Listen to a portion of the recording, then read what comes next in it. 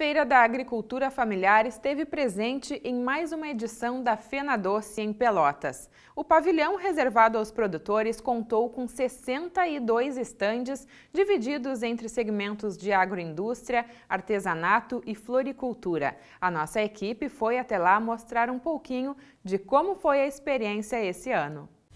Se engana quem pensa que a Fena Doce só atrai visitantes por causa dos tradicionais doces pelotenses. Aqui nesse pavilhão especial do evento, as pessoas procuram mesmo é montar aquele café da tarde com o gostinho característico da colônia. O consumidor que vem aqui na Feira da Agricultura Familiar pode fazer a verdadeira feira. Ketchup,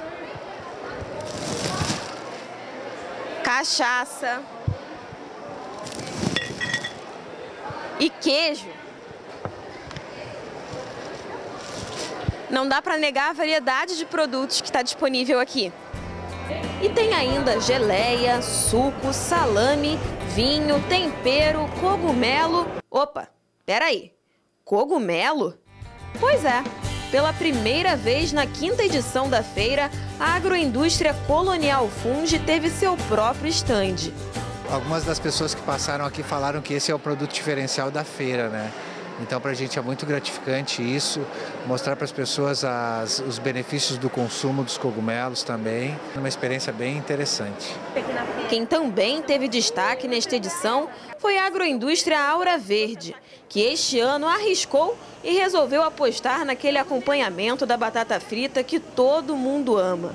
Todos os nossos produtos eles são veganos, eles não têm conservantes, não tem glúten, não, não tem lactose. Ele, eu gosto de dizer que eles são inclusivos. E o ketchup eu acho que é o nosso diferencial por ser um produto novo, um produto que nós lançamos aqui na feira e também por ser um público que atinge bastante, bastante jovem. E mesmo para quem ainda não conhecia esses produtos, a experiência de ter passado por aqui parece ter deixado aquele gostinho de quero mais.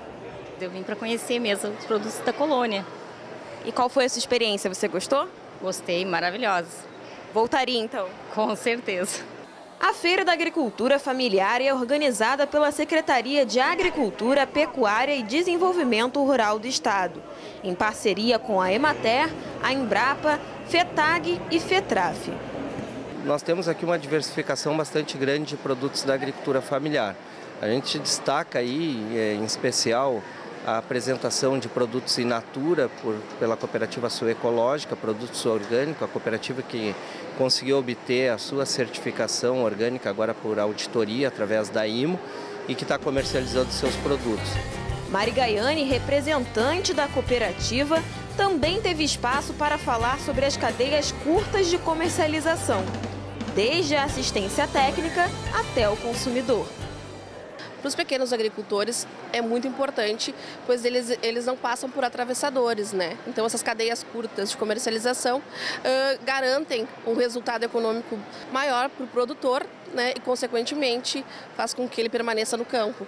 Devido a Fena Doce ter um público bem elevado, é mais uma forma de divulgar a agricultura familiar e essas uh, cadeias de comercialização.